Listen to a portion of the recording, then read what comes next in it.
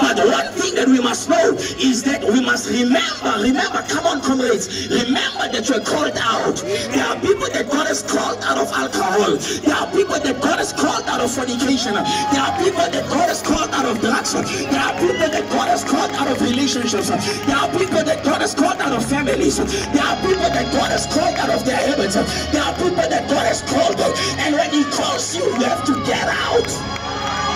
There are certain things that are binding us. There are certain things that are keeping us. But when there's a call of God, the Bible says in the book of Psalms chapter number 29 that the voice of God thunders. It thunders in majesty. The voice of God thunders in royalty. So when he calls you, you have to get out.